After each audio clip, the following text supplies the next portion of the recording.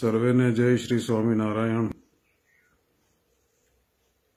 અમે જે વીડિયો છ સાત દિવસ પહેલા બનાવ્યો હતો, જેની અંદર મહાદેવજી બાબતને જે આ જે સમાજની અંદર, હિન્દુ સમાજની અંદર એટલું કોલાહલ જે ચાલી રહ્યું છે એને લઈને, તો એમાં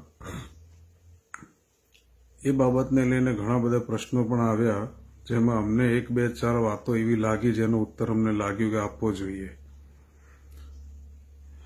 જેમાં એક વ્યક્તિનું એવું લખવું કેવું હતું કે સહજાનંદ સ્વામી છપૈયાથી ઘનશ્યામ પાંડે આયા અને અહીં સંપ્રદાય ચાલુ કર્યો અને એ કોઈ ભગવાન કે બસો વર્ષ પહેલા ના આવે. કદાચ ભગવાનનો જે નિર્દેશ છે કૃષ્ણચંદ્ર પરમાત્માએ કીધેલું છે પરિત્રાણાય સાધુનામ વિનાશાય ચ દુષ્કૃતામ ધર્મ સંસ્થાર્પનાર્થાય સંભવામી યુગે યુગે એ જે ભગવાને જે કીધેલું છે એનો અર્થ એ છે કે દરેક યુગમાં પાછલા આવનાર દરેક યુગમાં ભગવાન જન્મ ધારણ કરી શકે, તે કોઈ બંધનમાં રહીને ભગવાન નથી હોતા. ભગવાનની જ્યારે ઈચ્છા થાય કદાચ અત્યારે બી ભગવાન ક્યાંક જન્મ ધારણ કરે હોઈ શકે.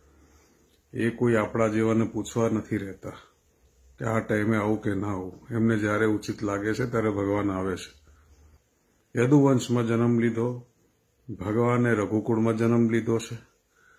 ભગવાને પરશુરામ રીતે આજે બ્રાહ્મણના ભારદ્વાજ ગોત્રમાં પણ જન્મ લીધો છે. આજે ભગવાને વામન અવસ્થામાં બ્રાહ્મણ તરીકે જન્મ લીધો છે. અને આગળ બી ભગવાન હજી જન્મ લેશે અને લઈ રહ્યા છે. હવે તમે એમ કહો કે બસો વર્ષ પહેલા આવ્યા તો બસો વર્ષ પહેલા કેમ ભગવાન ના આવી શકે? કે લિમિટેશન બાંધેલું છે જેમાં મેં પહેલા કીધું? શું ભગવાન હમણાં જન્મ ધારણ કરી લે એમને પાંચ દસ હજાર વર્ષ પૂરા થાય, આઈન ગયે પછી જ એમના ઉપર ભગવાનપણાનો સિમ્બોલ લાગે સર્ટિફિકેટ મળે. તો આ તો એમ મતલબ એ થયો કે રામચંદ્રજી, હે, એ ત્રેતા યુગમાં એમને પોતે જન્મ ધારણ કર્યો, તો એ જૂના છે માટે જૂના છે માટે હજી ભગવાન વધારે છે.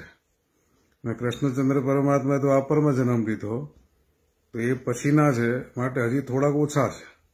એટલે જેમ ભગવાન જૂના થતા જાય, એમ એ વસ્તુ સર્ટિફાય થતી જાય કે ના, ભગવાન છે. ખેર આ બધી આ બધી વસ્તુનો કોઈ અંત નથી ચર્ચાનો. આ ત્યાં સુધી અંતની ચર્ચા છે, જેમાં આસ્તિક અને નાસ્તિકની ચર્ચાની વાત આવે.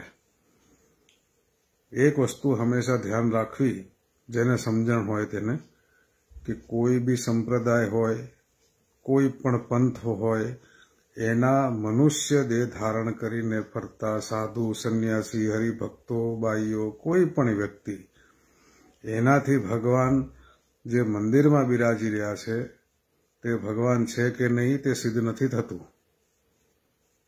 શાસ્ત્રોચિત જે કોઈ ભી આજે શિક્ષાપત્રી જે ભગવાન સ્વામિનારાયણે બસો ને બાર શ્લોક લખ્યા છે કોઈ પણ સનાતન ધર્મ, હિન્દુ સંસ્કૃતિનો વ્યક્તિ એ શિક્ષાપત્રીનો એક પણ શ્લોક એમ સાબિત કરી બતાવે કે આ સનાતન હિન્દુ સંસ્કૃતિ પ્રમાણે નથી, તો આ સ્વામિનારાયણ સંપ્રદાય સાવ ખોટો છે. બાકી મહેરબાની કરીને જ્યાં સુધી આ શિક્ષાપત્રી વાંચી ના હોય, સમજી જાણી ના હોય, ત્યાં સુધી સીધે સીધું ઇન્ટરનેટ ઉપર લખી લેવું એ તો બહુ આસાન છે. પાપના ભાગી થજો એ તમારી ઈચ્છાની વાત છે. જ્યાં સાધુઓની વાત છે, સંતોની વાત છે, અમુક સંતો જે લોકોએ આપો ખોઈને જે વાણીનું ઉચ્ચારણ કર્યું, અપશબ્દો બોલ્યા કે અનુચિત, અયોગ્ય, અમર્યાદિત ભાષાનો ઉપયોગ કર્યો, તેના માટે તો તેમને ભયંકર દોષ લાગે એ પણ તમને કહીએ. આજે કોઈ ગૃહસ્થ માણસ હોય, એ માણસને દોષ ઓછા લાગે. પણ સાધુ થઈને જો કોઈ વ્યક્તિ દુરાચાર કરે, કે અપશબ્દ કરે, કે અવિવેક કરે, કે અમર્યાદિત ભાષા કે જીવનશૈલી અપનાવે, એનો દોષનો કોઈ નિકાલ જ નથી.